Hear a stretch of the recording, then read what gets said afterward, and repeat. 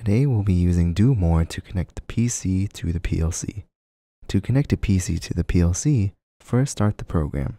This can also be achieved by using the search function.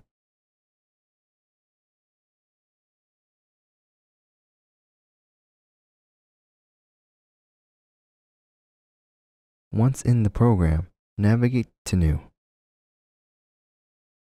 In the pop-up menu, type in the project name, select hardware class, and type.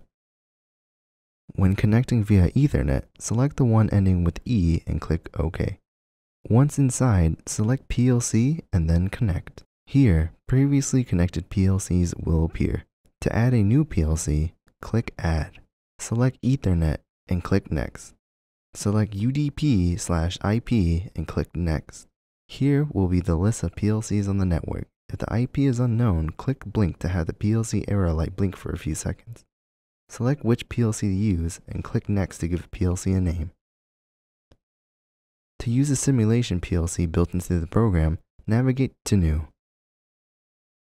In the pop-up, select Do More Simulator and DM Sim and press OK. Navigate to PLC and click Connect.